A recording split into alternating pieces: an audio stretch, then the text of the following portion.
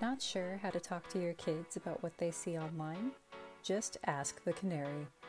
Our new AI chatbot provides parenting advice and conversation starters directly from your phone.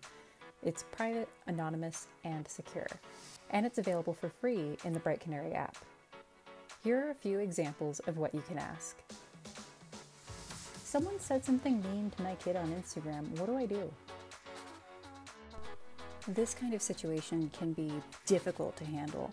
Having an open, honest dialogue between you and your child is key. Talk to your child about what happened and make sure they feel safe telling you the whole story. Let them know that you believe them and that they are not to blame for what happened. It's also important for you to act as support for your child. Help them formulate a response if they wish to respond, or consider if it's best to stay silent. Make sure your child knows that online bullying is nothing to be ashamed of and that being targeted doesn't define them. If the bullying persists, you may want to contact the social media team or school administrators. Help me talk to my 11 year old about a violent video he watched online.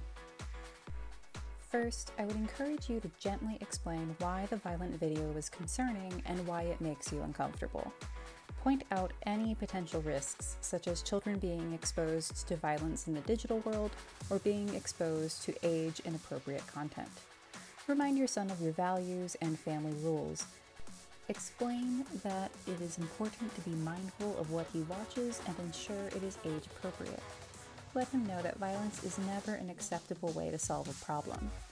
Finally, use this as an opportunity to discuss how he can responsibly use the internet. Have an open and calm conversation with him, asking why he watched the video, what he learned from it, and how he will ensure he watches appropriate content in the future. My kid encountered an adult video online. What should I say? It's normal to be worried when your child encounters content they were not expecting to see. The most important thing is to stay calm. Talk to your child in this calm and non judgmental manner.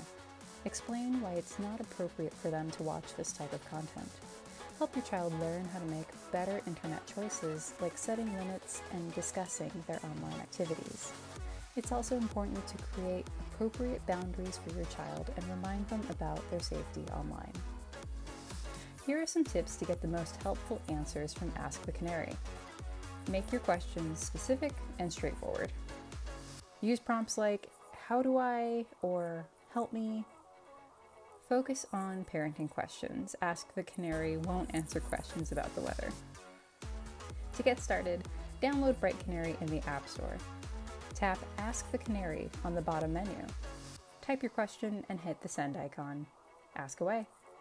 Learn more at brightcanary.io.